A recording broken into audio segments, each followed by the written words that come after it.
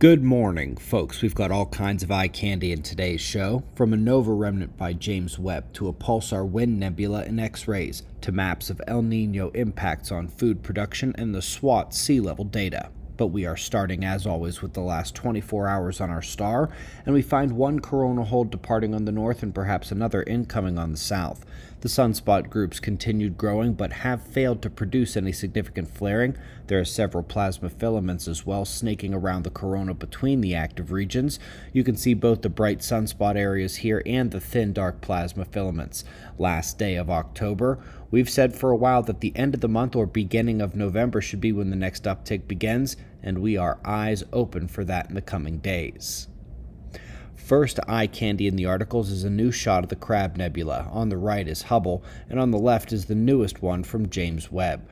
You can see a lot more detail in the James Webb shot here as it pierces the dusty veil and reveals a ton of detail in the remnant structure. Up next, they believe they are looking at a pulsar wind nebula, the remnant of a star that underwent a major death like process and now blasts away plasma that is only visible in X ray light.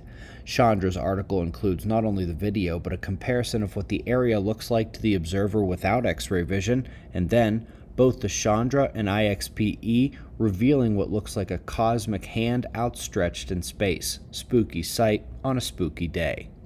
Up next, we come to the El Nino food growing impact map. Hot colors represent negative impact to crops, while the purple and bluish hues show where they expect better growing conditions. Asia, Australia, and Africa tend to struggle in El Nino seasons, while the USA and Middle East have the most benefit from this weather pattern.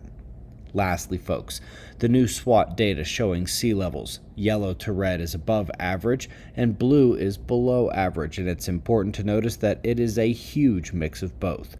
We've said it before many times, and this shows it again now. There is as much below average sea level as there is above average. If anything, the extremes are amplifying rather than an overall sea level rise. We greatly appreciate your support. Key resource links are found in the description box below the video. We'll do this all again tomorrow.